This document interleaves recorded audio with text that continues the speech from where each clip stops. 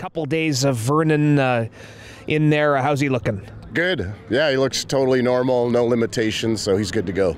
Would there be a point maybe in this game where you move away from it, or you just w- take that as it comes? Well, as long as he's healthy and going, we're doing everything we can to win this game. We want to force Winnipeg to keep playing. Our mind, it's no different than Hamilton that we played last week, as we're going in to win football games, and so um, you know we'll make decisions as they come.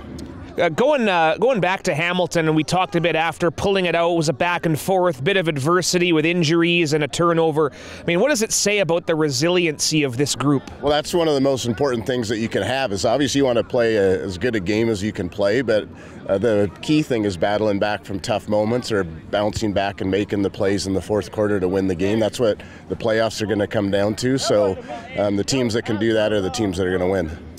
Um, Calgary's, uh, you know, divisional games are always tough, but they have everything to play for as well. Uh, you expect this to be a battle uh, right till the end, as usual. Yeah, you know they're they're an experienced group. They had an experienced group of coaches, and uh, you know they're going to show up and give us our best shot. And so, uh, um, you know, we got to be ready to play, and it should be an exciting game.